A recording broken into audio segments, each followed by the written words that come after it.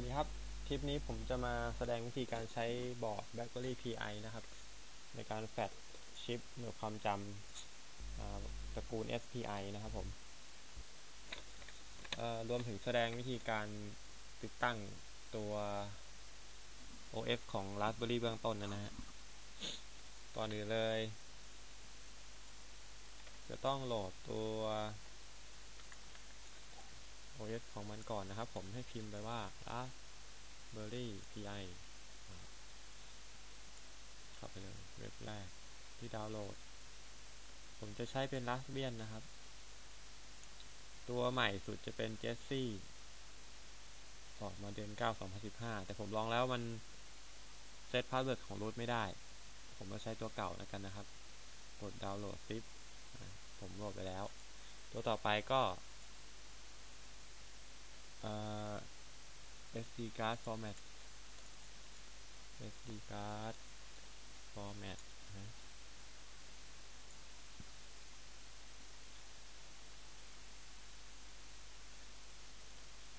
ลงมา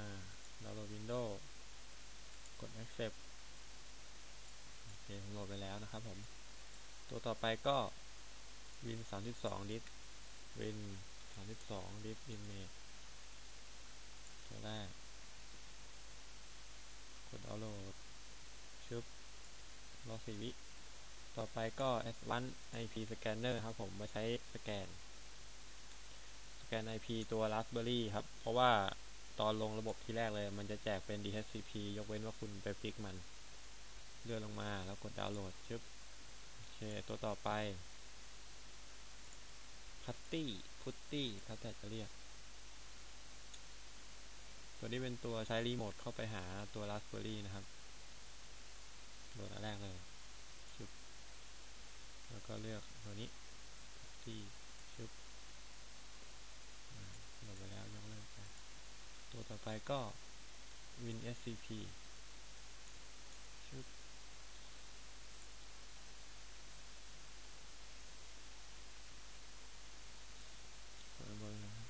อ๋อตัวนี้ Portable จะได้ไม่ต้องลง รอหนึ่งสามสี่โอเคตัวซอฟต์แวร์ที่จะใช้นะครับ ใช้ลงหลังจากลง Raspberry เสร็จแล้วจะเป็นตัว Flashrom นะครับผม ตัวนี้มันมีหลายแพลตฟอร์มมาก สามารถ run ใน PC นะครับผมหรือว่าจะใช้พวกการ์ดจอ การ์ดแลนการ์ด RAID การ์ด USB อะไรมากมายเนี่ยนะครับ ลองเข้าไปดูที่ support ของ flashrom.org นะครับผม มีอุปกรณ์ที่รองรับมากมาย เห็นไหม Raspberry อยู่ในนั้นด้วย จะบอกไว้นะครับว่า support แค่ไหน ได้หมดครับ NIC ก็ได้ครับ Intel ตัวการ์ดแลนแล้วก็อุปกรณ์ชิปที่รองรับนะครับผมอยู่ในหมวด support hardware เราก็ดูตัวชิปบนเมนบอร์ดเรานะฮะ ตัวชิปบนเมนบอร์ดอันนี้จะเป็น PLCC 32นะครับ เป็นแบบขนานจะเจอในเมนบอร์ดรุ่นเก่าหน่อย ตัวนี้เป็น DIP 8นะครับ เป็นแบบ SPI แบบอนุกรมที่เราสามารถแฟดได้ที่เครื่องตัวนี้ทำได้นะครับผม แล้วก็ตัวนี้ก็เหมือนกัน แต่ว่าเป็นแพ็กเกจเล็กลงมา ชิปตัวนี้ก็จะเห็นตามโน้ตบุ๊กนะครับโน้ตบุ๊กแล้วก็ตัวกล่องรับดาวเทียม หรือไม่ก็ดิจิตอลทีวีนะครับ ก็คือสามารถแฟดซ่อมมันได้หมด ถ้ามันเสียตรงนั้นนะฮะส่วนตัวนี้เป็นอยู่ในเมนบอร์ดคอมพิวเตอร์รุ่นเก่ามาก ๆ หรือว่าทีวีบางตัวนะครับ เป็นชิปแฟดเหมือนกัน เนี่ยนะฮะ ตัวเบอร์ชิป ตัวผู้ผลิต แล้วก็อันนี้เป็นเบอร์มัน อันนี้เป็นขนาด เนี่ยครับ parallel เมื่อกี้นี้พาราเรลก็คือตัวชิปที่เป็นขายเยอะๆ ตัวนี้ครับ ตัวขนาน แล้วก็ตัวนี้อ่ามันจะต้องใช้เครื่องแบบนี้นะฮะ หรือไม่ก็ใช้เมนบอร์ดคอมหรืออะไรก็แล้วแต่ไอตัวที่เรากำลังจะทำมาทำไม่ได้นะครับ เราทำได้แค่สองชนิดนี้ แล้วเขาก็จะบอกเนี่ยนะครับโทบตรวจพบ อ่าน เขียน ลบ อะไรเงี้ยฮะ ตัวไหนทำได้แค่ไหน ตัวที่เขาทดสอบมาแล้ว ไอ้ question mark นี่ก็น่าจะยังไม่มีใครรายงานเข้ามานะครับ ว่าทำได้หรือเปล่า ก็ลองเข้ามาดูกันนะฮะ เหมือนจะโปรแกรมชิปเซตได้ด้วยนะ ผมก็ไม่แน่ใจ โอเค เรามาเริ่มส่วนของเราดีกว่า คลิปนี้จะรวมถึงสอนการติดตั้งบอร์ด Raspberry Pi เบื้องต้นนะฮะ Memory Card แนะนำให้เป็นคลาสสิกนะครับ ผมใช้คลาสสิก8 GB 100x ของ Kingston ก่อนอื่นเลยก็ต้อง format ก่อนนะครับผม แนะนำให้ใช้ตัวอ่านการ์ดแบบ USB นะครับ เพราะว่า ถ้าเป็นโน้ตบุ๊กเนี่ยไอตัวที่เป็นเสียบข้างในอะ่ะตัว internal ของโน้ตบุ๊กอะ่ะเวลา format อะ format ได้นะครับ แต่ว่าเวลาที่เรา flash ROM มาลงไปเนี่ย มันมีปัญหามันชอบเด้งกลางทางอันนี้ติดตั้งไปฟอร์แมตการ์ดกันก่อน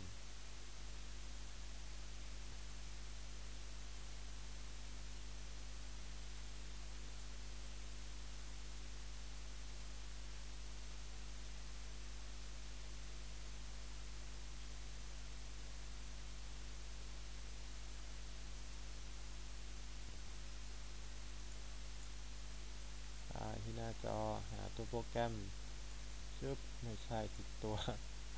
ตัว SD card format ชบชบชบชบชบตาลายครับมักง่ายตรงนี้ฮะ นี่ format เลยปาโอเค ต่อไปตัว Light Image นะครับผม Win 32ชึบรัน ชุบ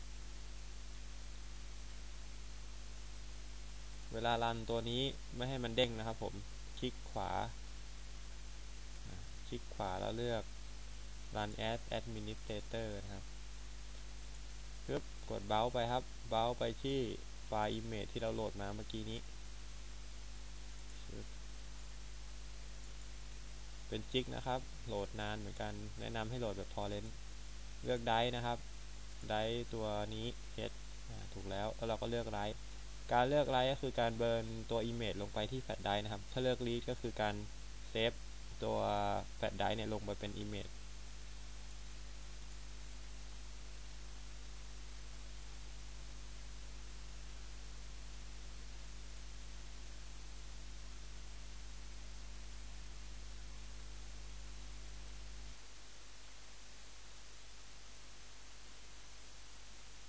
ร็จแล้วครับ เวลาผ่านไปไวเหมือนตัดต่อ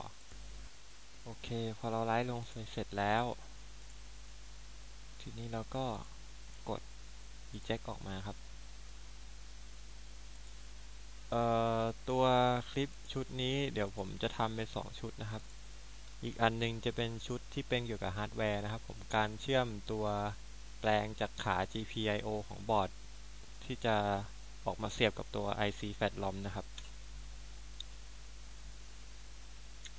ผมเอาการ์ดไปเสียบที่ตัวเครื่องนะครับ ตอนนี้ แล้วก็เปิดเครื่องต่อแลนเข้ามาแล้วการต่อแลนนะครับ เราควรจะต่อแลนให้ผ่านเข้าไปใน hub วงเดียวกับอุปกรณ์ที่แชร์อินเทอร์เน็ตมาที่เรานะครับ เพราะว่าตัวกล่องจะเป็นตั้งค่าไว้ให้รับ IP แบบอัตโนมัตินะฮะ ถ้าไม่มีตัวจ่ายมันจะไม่รู้จัก อตอนนี้ผมเปิดเครื่องแล้วนะครับ รอสักครู่ รันพัตตี้ขึ้นมาก่อนอื่นเราต้องไปสแกน IP ก่อน เลือกเลือกใช้อย่างเดียวก็ได้ครับมาติดตั้ง อีกอย่างหนึ่งตอนแรกที่ผมไม่เลือกตัวเจสซี่เพราะว่าตัว OS มันนะฮะ เพราะว่าผมลองใช้ดู แล้วมาจับตอนจับตัวเครื่องอะข้างหลังเคสมันยังอุ่นเลย แสดงว่าเป็นไปได้ว่าตัว Jessie อะมัน overclock มา ไม่รู้ว่า overclock แรงดันหรือว่าความถี่อย่างเดียว แต่ขณะผมติดซิงค์นะมันยังร้อนนะครับ อ่า นี่ครับ Raspberry Pi MS Home 192.168.0.149 มาที่พัตตี้นะครับ 192.168. 0.149ตัว password user กับ password raspberry ตัวที่เป็น default มาเลยคือ user จะเป็น pi นะครับผม password จะเป็น raspberry นะครับแล้วเราค่อยเปลี่ยนทีหลัง ต่อเข้าไปผมใส่ IP ผิด อโทษด้วย ขอโทษหนึ่งเก้าสองจุดหนึ่งหกแปดจุดศูนย์จุดจุดหนึ่งสี่เก้าใช่ปะใช่นะครับแบบมันจะถามเราก็ตอบ yes pi last berry ไอเนี่ยตอนเล่นลีนุกใหม่ ๆ โคตรฮาเลย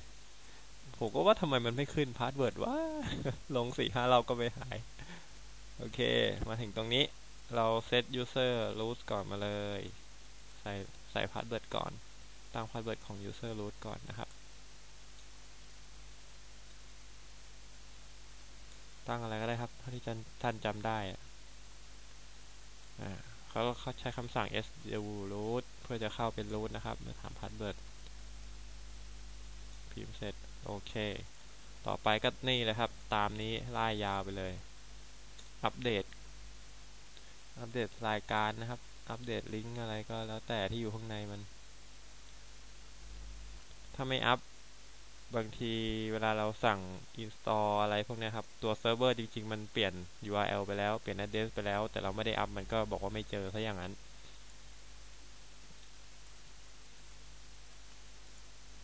เออ ไอ้นี่มันมีเทคนิคอยู่ เราสามารถลงเป็นตับได้โดยการ เอาชื่อตัวที่เราจะลงเนี่ยมาต่อกัน ต่อกันแบบนี้ แล้วก็ลบออก ชึบ ลองดู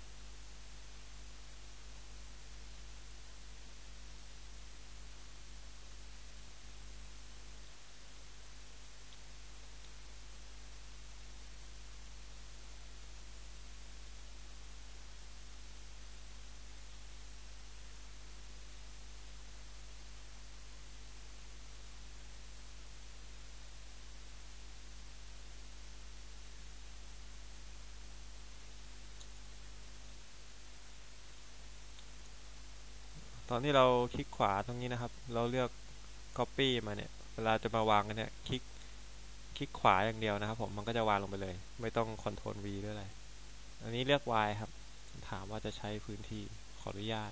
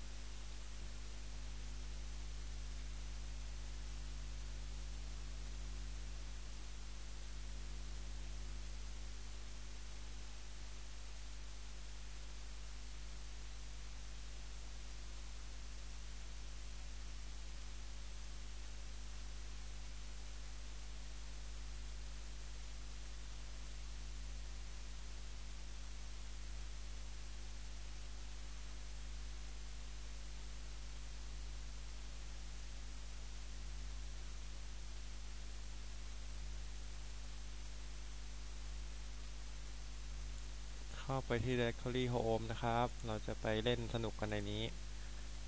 อย่าไปเล่นที่ root โอเค อันนี้เป็นการดาวน์โหลดตัวโปรแกรมนะครับ ตัวโค้ดของแพทลอมแตกไฟล์ตาบ เข้าไปในโฟลเดอร์ปาบ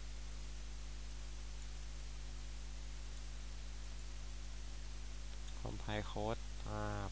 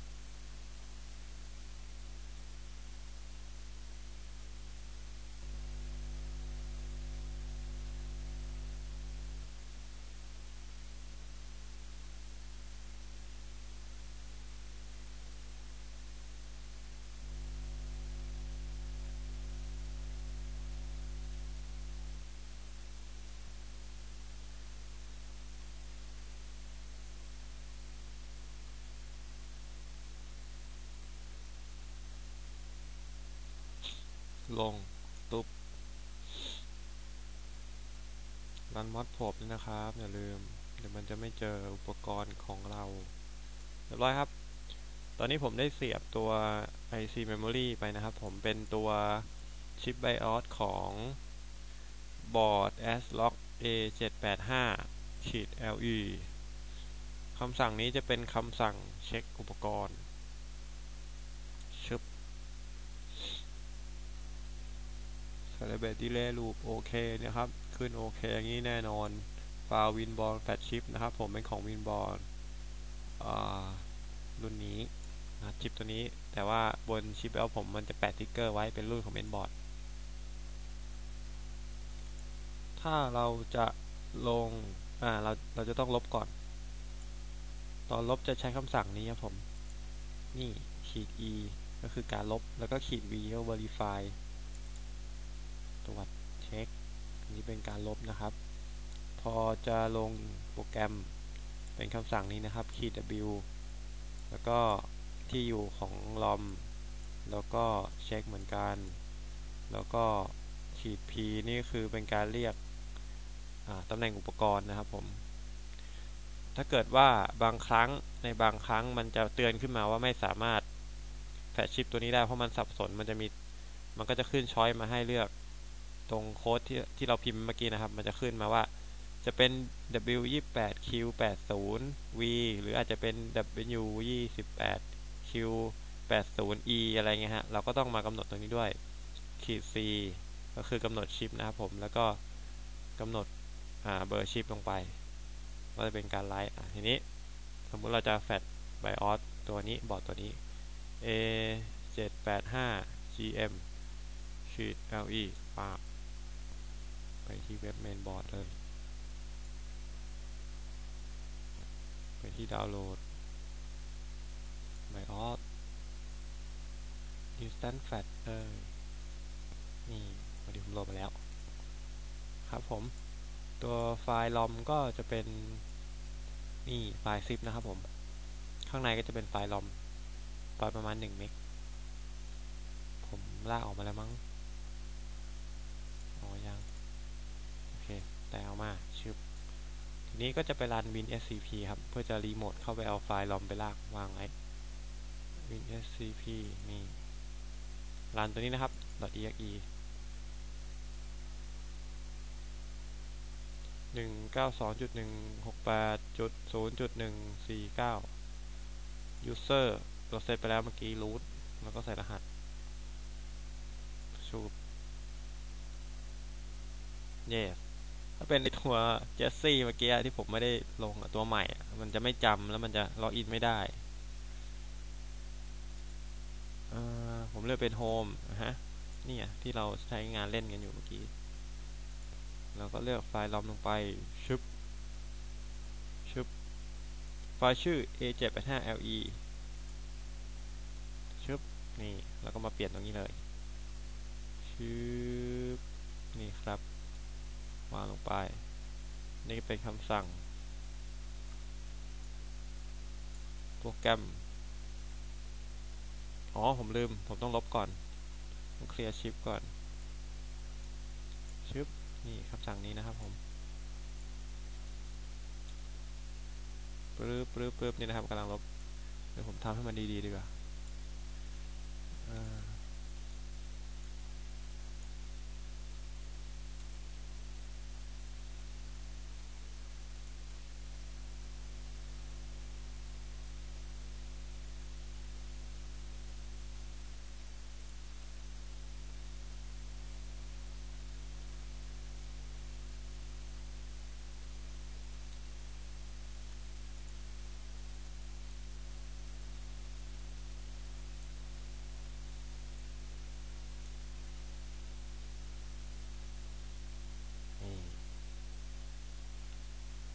ยัง อ๋อเสร็จพอดี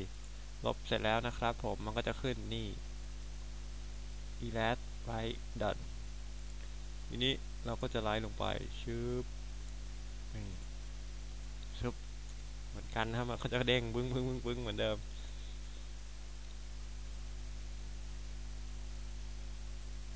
รอสักครู่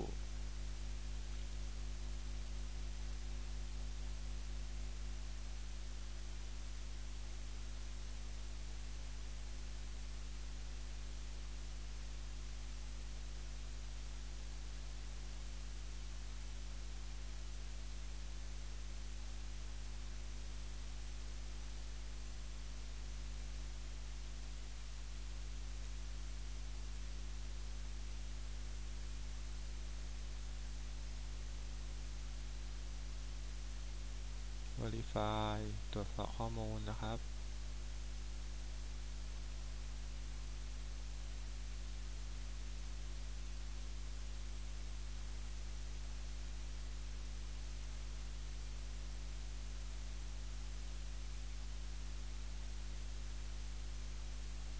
เรียบร้อยครับ เราก็ชัดดาวเลย เพื่อความปลอดภัยของข้อมูล ดี๋ยวตัวนี้ผมก๊อปไว้ให้ที่หน้า YouTube นะครับผมนะฮะ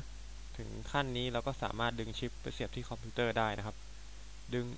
ดูไฟให้ดีนะครับไฟที่ตัวบอร์ดให้มันดับแล้วเหลือได้หลอดแดงนะครับผม แล้วก็ดึงปลั๊กชึบอ่าสมมุติว่าเราตั้งค่าลงโปรแกรมอะไรเสร็จเรียบร้อยแล้ว แต่เราจะเอาการ์ดไปใช้ อย่างที่บอกไว้ตอนแรกครับ เราสามารถเซฟ image ไปได้ แล้วก็การ์ดมาเสียบที่ตัวอ่านนะครับผม ใช้ตัวดิสามสิบสองนี่นะครับลงมาแล้ว นี่ชึบเราก็ อ่า เลือกที่ที่เราจะเซฟ สมมติเซฟเป็นเดสก์ท็อปเราก็ตั้งเลยครับ dot อะไรก็แล้วแต่ Open เราก็กด read นี่ครับฟืบ มันก็จะขึ้นเหมือนเดิมครับ read ไปจนเสร็จ แล้วเราก็จะได้ไฟล์ image มาวันหลังเราจะมาใช้เราก็มาเอาไฟล์เนี่ยครับ เลือกเลือกไฟล์ตัวนี้แล้วก็กด write โอเคนะครับ เดี๋ยว